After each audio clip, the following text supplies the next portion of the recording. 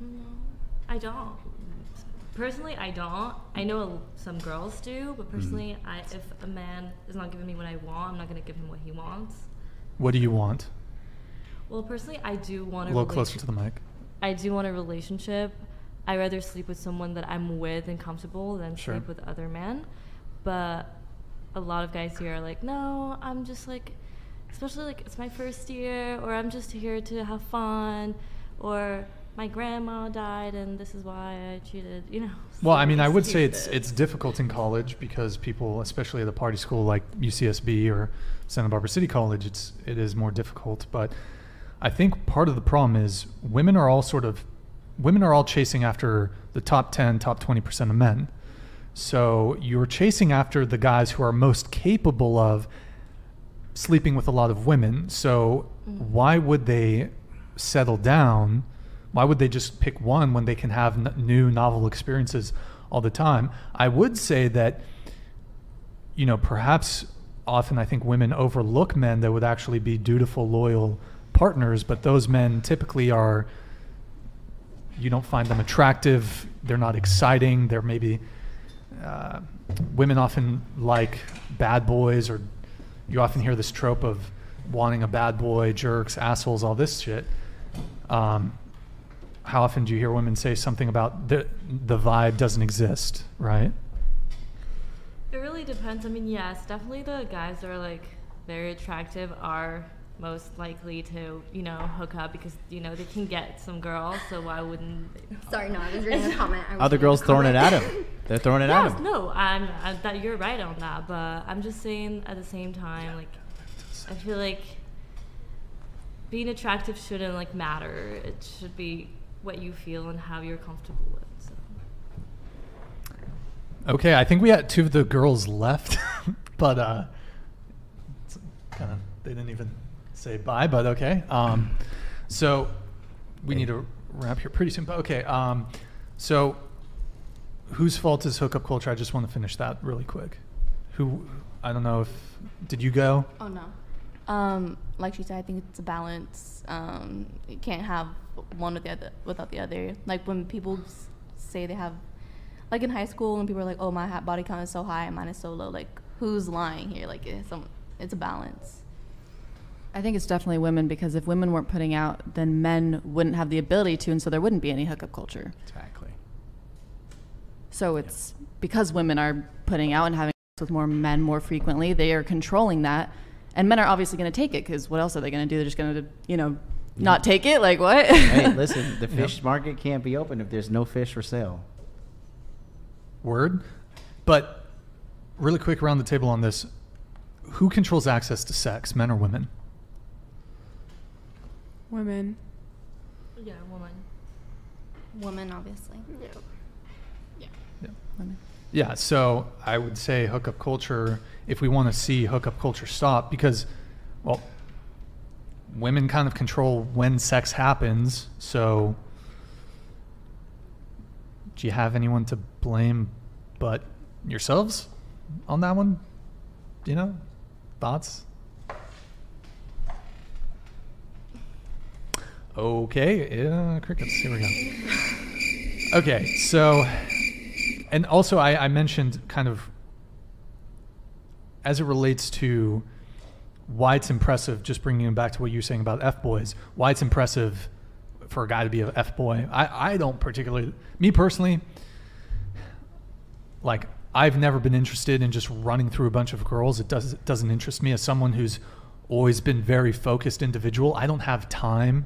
I don't, it's it's a headache a lot of the time with dating, and I'm sure women relate to this too. There's a lot of bullshit that comes with dealing, uh, like with dating, and there's people flake, and it's just. I much prefer having a partner and having something serious with her, and it doesn't. What also just the STD risk. It does not interest me. I don't want to like. It's hard enough as it is dating. Imagine like in handicapping yourself and like getting herpes or some shit. Imagine like the fucking girl of your dreams and you have to disclose to her, oh, by the way, like I'm positive. Like I'm like, fuck, dude. It's already hard enough as it is. So for me, it's just not worth the risk. Um, I've always preferred long. I like to sleep with a girl one time. It's just there's no point to it. I much prefer continuity. I much prefer long term things. And I, honestly, even if your motivation is strictly sex, you're going to have, I think, the best sex with someone that you care about and love, and she loves you, and you know what they, purely on a physical level, you know what they like, she knows what you like, there's a comfort. So I think, uh, me personally, I, I don't, I'm not really interested in just having a huge roster. It doesn't interest me, but, um, word. So, but yeah, just to bring it back to the easy thing, uh, it's very difficult for men to get laid. So that's why it's impressive. Like an average girl could sleep with a new guy every single day of the week if she wanted to. Whereas, like, for a guy to be able to sleep with a new girl every single day of the week, that's like a top 1% guy. It's a lot of work. That's like, you got to be fucking good looking, have game, probably, probably have status to pull that shit off too. Um, you have to be bringing some quite a bit to the table to pull that off. So it's I think there's a comedian I forgot his name, but he, it's something like it's easy to be a slut. It's hard to be a stud. Okay. Uh, I think they're hate me now. Okay. No, I don't know. I mean, I guess it's just like it's not even. I don't know how I've encountered so many boys that not me personally, but just witnessed them. Like I don't know how I've seen so many guys that are boys, but it's apparently hard to get laid. I mean, obviously, I don't know what it's like to get laid as a as a male because I'm not a guy. But it's That's just just like, hard. it's just I don't understand then how I've witnessed so many, have seen so many boys, Mm. or maybe it's just like I don't know. You've seen a lot of fuckboys. Well, yeah, Do you think there's more boys than there are just like average dudes working at McDonald's that are invisible to most women? Like most men are invisible to most women. well, And this is backed up by uh, data from dating apps. Women swipe left. Uh, some of you are on dating apps. Like you probably swipe no on like the vast majority of men. Women are also much harsher grades of a male's physical appearance than men are of women's physical appearance. well, I feel like it kind of goes back to the easy part because men are easy, but finding a guy that meets your desired like expectations and your standards is very hard. It's hard. It's hard for guys too. It's Yeah. hard for us to find like a decent woman, Yeah, I agree with that. like a woman that's like not gonna be like crazy and fucking talk back and fight and cause like everything's oppressing her. Like you know, dude, it's like there's some crazy bitches out there, for real. It is hard for dudes too.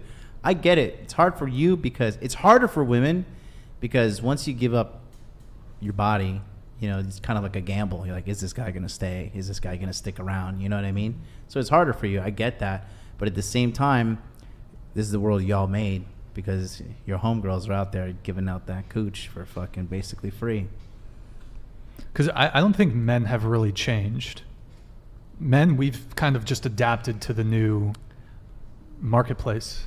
So, Men's ha- women's happiness is going down every year. Men's happiness is kind of just like putting along, kind of, you know, it's slightly trending up. Mm-hmm. is it? Yeah. Is it? Yeah. Okay. No, w- women's happiness since the 19 in America, women have been increasingly unhappy every single year since I believe it was like the beginning of the women's sexual liberation movement, which is kind of a joke too, because like it was they, they tricked women to thinking like, oh yeah, you're gonna be really, really, really valuable by giving yourself away to men very, very, very cheaply. That's how you're gonna be liberated. It's like, And it's only beneficial to the men. yeah. It's not helping women at all. Well, it's only beneficial to the top tier of men, I would say. Yeah. Yeah, I guess. Yeah, the Well- top top percentage of men for sure. Yeah.